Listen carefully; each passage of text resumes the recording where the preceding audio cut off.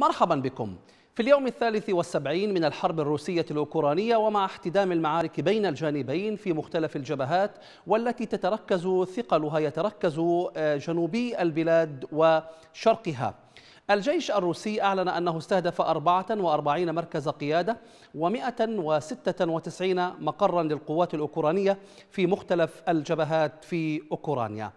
كما تواصل القوات الروسية محاولات السيطرة على مجمع آزوفستال الصناعي في أقصى الجنوب الشرقي لمقاطعة دونيتسك ومن جهته قال سكرتير المجلس العام لحزب روسيا الحاكم أندري تورتشاك إن بلاده دخلت منطقة خيرسون وستبقى فيها إلى الأبد.